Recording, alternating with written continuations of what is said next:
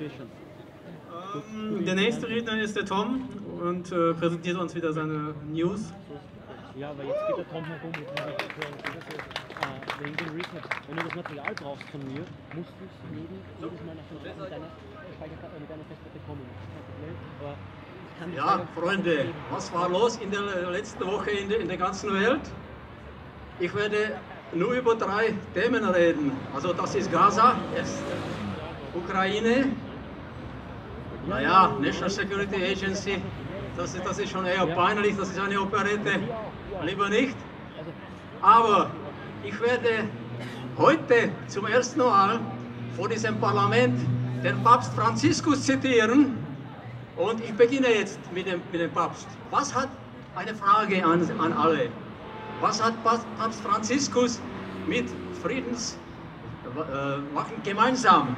Wer kann das sagen? Was hat der Papst mit uns gemeinsam? Bitte, Ideen. Ich höre. Was? Nächstenliebe, jawohl, richtig. Ja, noch? Ja, oh ja, okay. Ja, aber er hat noch etwas mit uns gemeinsam. Ich kann euch helfen. Die Friedensdemos werden von österreichischen Fernsehen und von der Presse ignoriert. Richtig? Ja. Ja. Seit Franziskus über Kapitalismus und Armut, über Israel und Lampedusa spricht, wurde er stillschweigen aus den Zeitungen verbannt. Irgendwo auf die sechste Seite unten ein Zweizeiler. Der Papst hat gerade äh, irgendeine Stadt besucht, ja, mehr nicht. Er ist einfach nicht salonfähig, der neue Papst. Soll sich doch Beispiel nehmen an unserem Domfahrer Toni Faber. Ja, im Prunk und Gloria auf die Erlesung warten, sagt er. Reichtum, sagt er, ist keine Schande, keine Sünde, keine Sünde. Man muss natürlich mildtätig werden manchmal, ja, es reicht völlig.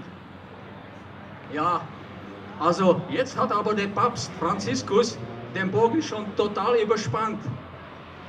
In einem Interview für Il Messaggero vom 29. Juni hat jemand gehört im Fernsehen oder ir- irgendwo von diesem Interview, Papst, von vor zwei Wochen, das ist klar, niemand hat was gehört.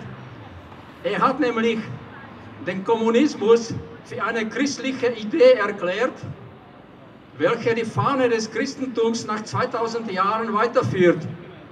Er hat auf Italienisch gesagt, Kommunismus hat die Fahne des Christentums geraubt für sich. Aber, ja, also hat jemand von diesem, diesen Aussagen gehört? Ja oder nein? Nein, ja, natürlich. Aber es gibt einen Leitartikel auf der Wiener Zeitung, dem war der antikapitalistische Ton schon etwas zu rau. Und Wiener Zeitung hat wirklich den Papst kritisiert unter dem Titel Die Fehlbarkeit eines Unfehlbaren. Ja, und der Redakteur schreibt, also das ist natürlich alles nicht wahr, was der Papst sagt. Und dass er den Kommunismus für eine ähnliche Idee hält wie das Christentum, Nein, das kann man nicht. So, Gaza, zweites Thema. Ja, also es sind, es ist, man muss natürlich Vergeltung üben, ja, von dieser Seite, von jener Seite. Bis jetzt sind bei diesen Vergeltungsmaßnahmen auf der palästinensischen Seite ca. 160 Leute umgebracht. Auf der israelischen Seite, soviel ich weiß, keiner.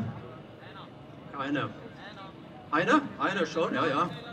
Ja, Tel Aviv, ah, ja, ja. Na gut, man muss sich fragen, wann wird die Angela Merkel und François Hollande irgendwie vorstellig und sagt, so nicht. Sie- Ist das bei 10.000 toten Palästinensern, bei 100.000 oder bei einer Million? Das wissen wir noch nicht. Schön war, die Behauptung der israelischen Armee, man warnt die Leute, bevor man das Haus zerstört mit Rakete, telefonisch oder irgendwie anklopfen mit einer Rakete ohne, ohne, ohne eine Bombe. Ja, das ist sehr human. Und man hat Gaza, man muss wissen, was Gaza ist. Gaza ist äh, Wien. Das ist so groß wie Wien, so viele Einwohner wie Wien. Also so kann man sich das vorstellen. Ja, man hat die Einwohner jetzt aufgefordert, sie sollten ihre, ihre Stadt verlassen. Wohin soll sie ziehen? Gaza ist doch das größte KZ der Welt. Die dürfen gar nicht ausreisen.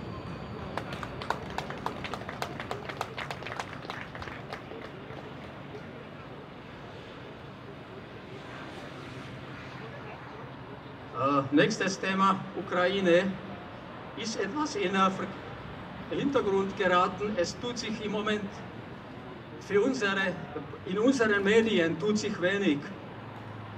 Ja, Ukraine ist wie ein Schachspiel.